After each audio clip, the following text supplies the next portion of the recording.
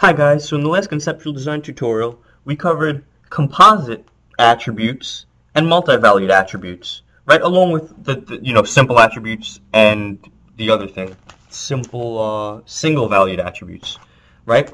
But now one distinction or one thing that you know we should clear up is that of a multi-valued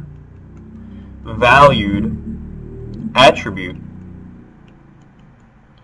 versus a composite attribute. Okay, we'll make a little T-chart here.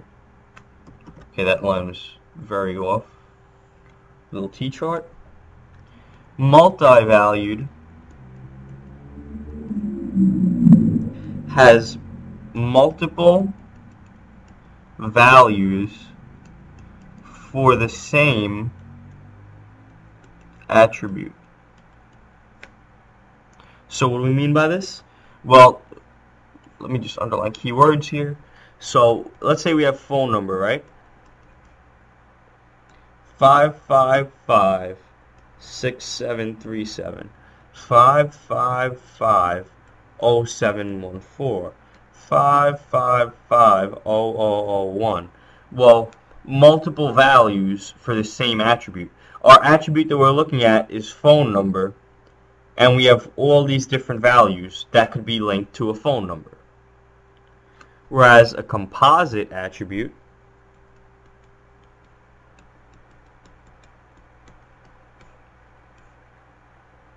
has multiple attributes, but each has a single value. So multiple attributes, each with a single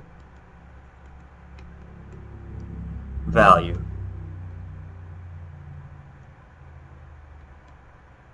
Right?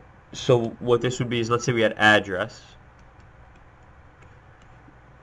Right? And we would have street, city, state. So we could say the street would be Main Street. Uh, the city would be New York City and the state would be New York. Each of these, the street, the city, and the state only has one value, whereas the phone number, well, you could have them, you know, this phone number, this phone number, this phone number. These are each mapped to one and only one value. Okay, but address has each of these components, right? So now a derived attribute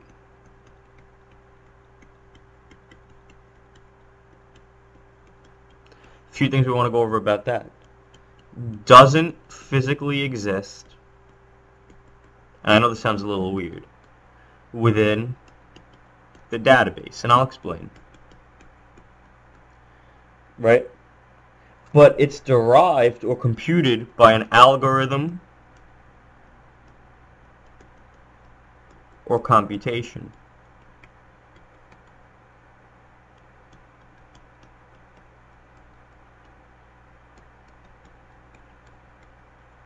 So in other words, we don't have a specific column for these derived attributes, but using other attributes, we might say, um, I don't know, okay, strength. Let's say our game character has strength. I like I like using game examples. Uh, so we have strength. Strength is power times speed. Let, let's just say. I mean, I know that's a silly example, but if we have I and J here, so power is I, speed is J, then strength will be I times J. Now the idea is that behind the scenes, this computation would be going on. So there's no there's no uh, column here for strength in our table, right? There's no column there for that. But an algorithm is performing this calculation, and strength is serving as a derived attribute in this matter. Um, do we have time to go over the notation? I guess we do. So entity, an entity is shown by this uh, as per uh, original notation, right? A relationship is a diamond, attributes, and actually notice we're almost hitting the five minute mark. So I'm going to continue this list uh, in the next tutorial. Thanks.